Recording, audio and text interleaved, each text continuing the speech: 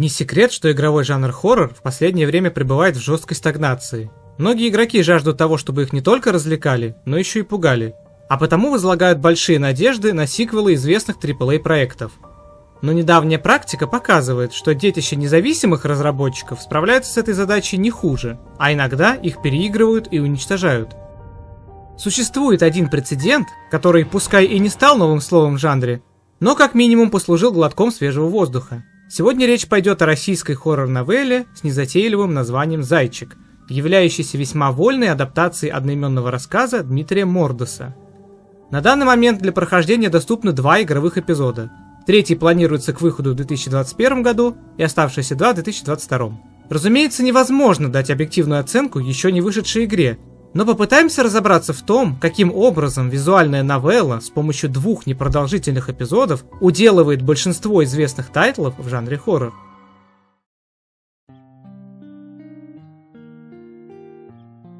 Зайчик, по сути, соткан из таких жанров, как point-and-click quest, хоррор и визуальная новелла. Если с первыми двумя все более-менее понятно, то для понимания особенностей рассматриваемой игры нужно прояснить, что из себя представляет последний – Визуальная новелла или визуальный роман – это игровой жанр, основными особенностями которого являются подача сюжета через обилие текста, а также статичное изображение, иногда с помощью анимации и видеороликов. Порой в визуальных новеллах присутствуют элементы интерактивного кино и нелинейность. Собственно, и «Зайчик» сохраняет вышеупомянутые черты. Визуальный ряд радует глаз как приятной, а местами устрашающей рисовкой, так и анимированными роликами – если поставить игру на режим автоматического переключения, то может сложиться впечатление, что смотришь очередную серию своего любимого мультсериала или аниме.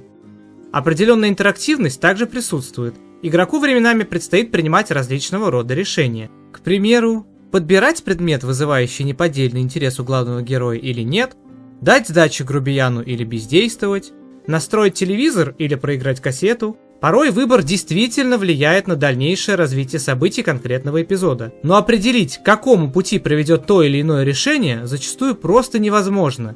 Но именно неподдельный интерес к сюжету игры и желание увидеть все возможные альтернативные события приводит к тому, что реиграбельность – осознанный и естественный выбор самого игрока. И повторные прохождения не надоедают. Подавляющее большинство визуальных новелл грешат тем, что выбор зачастую либо ни на что не влияет, либо это влияние бывает очень трудно проследить, ввиду излишней запутанности и сложности сюжета. Однако в «Зайчике» каждый ключевой выбор приводит к совершенно разным исходам. Вот тут я уже не могу привести примеры, поскольку это невозможно сделать без спойлеров. А в случае, если все-таки возникает желание промотать те или иные моменты, предусмотрена соответствующая кнопка. Это еще одна типичная фишка визуальных новелл. Действие истории происходит в тихом, ничем не примечательном поселке, окруженном со всех сторон лесом. Здесь вдруг начинают пропадать дети, и главный герой, недавно переехавший сюда шестиклассник Антон, становится невольным свидетелем и участником кошмарных событий. Помимо этого, в сюжете фигурируют и другие персонажи, по-своему раскрывающие историю.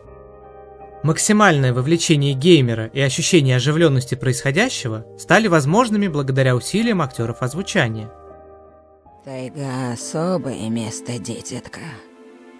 Она к тебе присматривается, принюхивается, словно хочет понять, что ты за зверь такой. Понравишься, в беде не бросит. А будешь проказничать, схватит за бочок и утащит с собой под землю. Друзей ты на новом месте еще не завел? Пока нет. Я только после каникул в школу пойду. Тогда вот вам на всякий случай мой номер. Звоните, если... если узнаете что. Да что твоя лиса? Вот у меня на окне сова! Опять ты со своей совой. Так ты же вчера мне верил! Никто ключи от машины не видел? Вроде оставлял на подоконнике. Вроде. Вроде оставлял, вроде нет. Вроде взрослый мужчина, отец двоих детей, а вроде... Перестань, пожалуйста, Карина. Некоторые персонажи вызывают сочувствие и симпатию, а некоторые гнев и желание вломить виртуальных люлей. А есть и те, что вызывают самый разнообразный спектр эмоций. Последний эффект оказывает Алиса, пожалуй, самый примечательный и самый неоднозначный персонаж новеллы. Чего молчишь, несмышленыш? Язык вырвали? Слушай, а я тебе еще и нос откушу. Будешь знать, как совать его в чужие дела. Лисица-плутовка мгновенно завоевала сердца многих геймеров и вмиг обросла локальной фанбазой. На первый взгляд игра по большей части представляет из себя симулятор жизни обычного мальчика в российской глубинке. И это отчасти так, только со временем начинают происходить отнюдь необычные события. Уже с первого эпизода сюжет игры дополняется и словно обрастает собственным фольклором, частично имеющим в своей основе детские страшилки, с элементами мистики и оккультизма. А уже во втором эпизоде игра отчетливо превращается в психологический хоррор.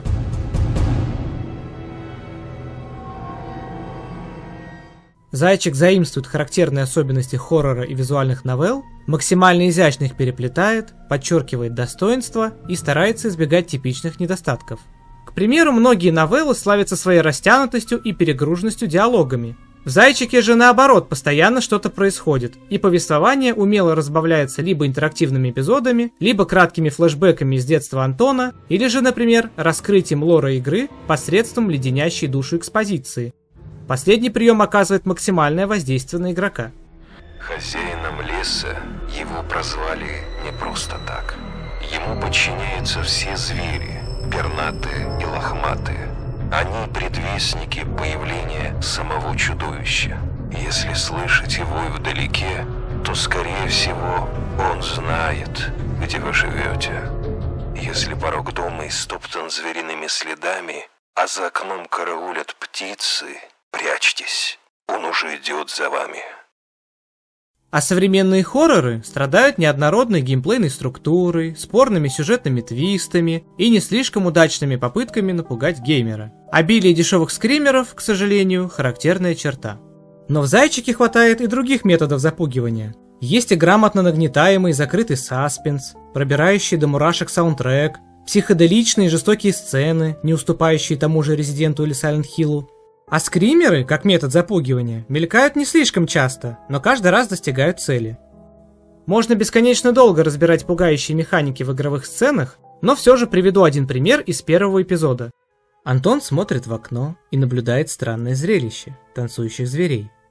Настроение сцены кардинально меняется после того, как относительно спокойная композиция, играющая на фоне, резко обрывается – Одна из животных фигур устремляется в сторону окна и на миг исчезает. Игрок ожидает подвоха и морально готовится к скримеру.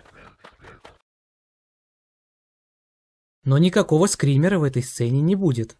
Прием обманутых ожиданий используется в этой игре довольно часто, и каждый раз в точку.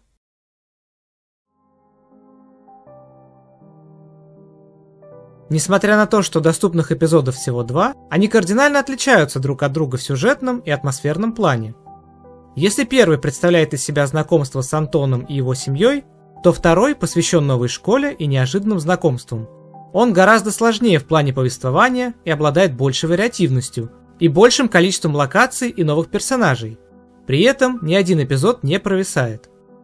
Новелла приятно удивляет как стилем художественного текста, так и визуалом. Порой происходящее на экране представляет из себя самое настоящее искусство. Несомненным достоинством является тот факт, что разработчики игры успешно разрывают языковой барьер, поскольку игра была переведена на несколько языков, с сохранением художественного стиля.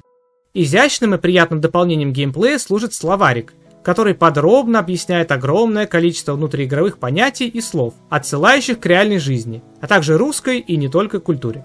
Это нововведение изрядно помогло англоязычным геймерам погрузиться в колоритную атмосферу игры и не путаться в незнакомых или малознакомых вещах. Впрочем, от прочтения этого словарика и у русскоязычных геймеров может свести олдскулы, а кто-то откроет для себя что-то новое. Не скрою, часть терминов я откровенно не знал. Век живи, век учись, как говорится. Значительная доля русскоязычных геймеров ощутит знакомые вайбы. Кто-то переживет личный эпизод ностальгии, кто-то узнает в этой глубинке свою деревню, в которой вырос, и так далее. Степень вовлеченности игрока на уровне одного лишь сеттинга потрясает. Что касается главного героя, Антон постоянно переживает из-за семейных неурядиц, думает, как порадовать младшую сестру Олю, милую и непосредственную девочку с богатым воображением, пытается освоиться после переезда, испытывает страх перед новой школой, перед дремучими и непостижимыми лесными массивами и боится детских страшилок – Многие смогут ему так или иначе сопереживать и в какой-то мере себя с ним ассоциировать.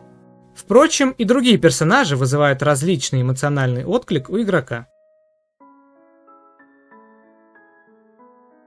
Благодаря удачному сочетанию жанров, сбалансированным диалогом, сильной драматургической основой, не паразитирующей на оригинальном источнике, а также усилиям актеров озвучания, Зайчику удается подарить ценителям хоррора незабываемый experience, а также напомнить, что означает бояться. Своей потрясающей способностью увлечь и напугать, игра дает удар под дых многим именитым представителям жанра.